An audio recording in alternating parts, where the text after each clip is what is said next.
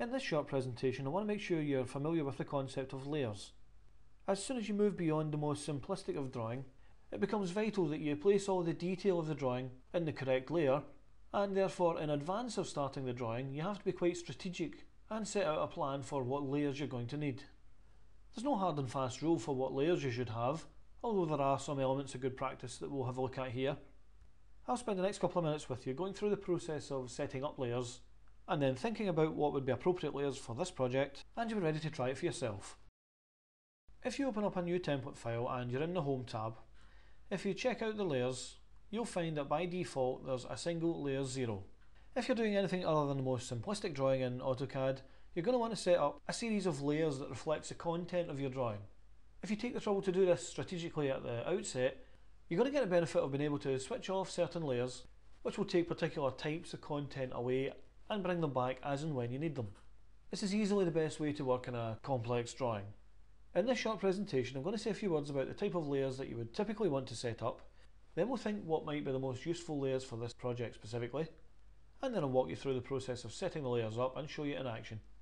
So most commonly then, the type of layers that would be of use to you for almost all of your AutoCAD work would be a layer specifically designated for construction work, another layer specifically designated for dimensions and perhaps another for centre lines. And specific to this project we might want a layer for walls, another for doors and for furniture and a parts list or a key. And something else you might want to think about is to have all of your layers designated as either flower shop layers or coffee shop layers so that even if the drawing becomes massively detailed you can manage the scene by switching off and switching on the appropriate layers. Here's a quick introduction to the process then. In the Home tab you'll be able to go to the Layers section of the ribbon and you'll find in the top left hand corner of the Layers section the Layer Properties button. Click on it and up will come the Layer Properties Manager. This button right here is the New Layer button. You click on it, a new layer gets created and we've got the chance to name that layer. I'm going to call that layer Construction and I'll find that I'm able to change, among other things, its colour, its line type and its line weight. I'm happy to leave the colour to the default and for construction lines I'm also happy to leave continuous lines but the line weight I want to click on it and make sure that the line weight is set for construction lines as something light. I'll go for 0.15 millimeters in this metric template and say OK.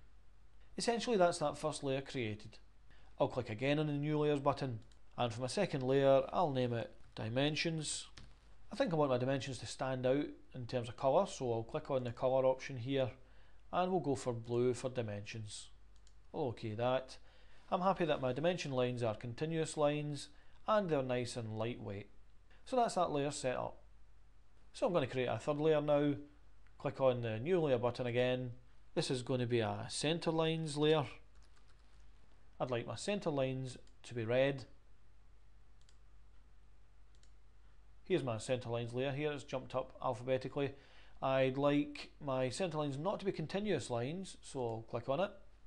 I see that I've only got continuous lines loaded in this template, so I'll click on load to get access to a wider range of line types and I'm looking for the few centerline options that are here. I'll go for the center 2 option. OK. Make sure I select it here and OK. And I'll keep that line weight for the center lines layer.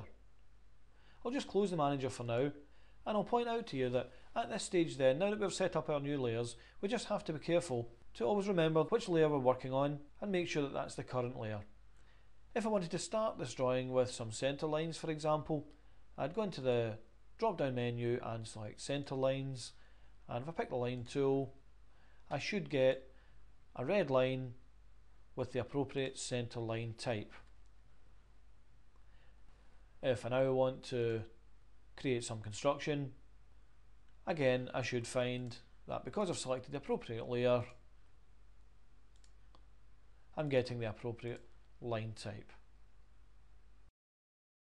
Let's take a look then at how this approach applies to this finished drawing here. If we go into the drop down menu you'll see that there's a fair number of different layers. We have a furniture layer, doors layer, walls layer etc. At any time I could go to any of the layers and turn their visibility off. I'll take away all the furniture in one go for example by just turning that layer off. And of course that can be toggled back on as and when we need it. By the time you've finished your solution, perhaps you'll have a walls layer that's consistent for both layouts, but a furniture layer brackets flower shop and another furniture layer brackets coffee shop. As ever, make sure you see this as nothing more than suggestions and you should aim for your solution to be as unique and personalised to you as you can make it.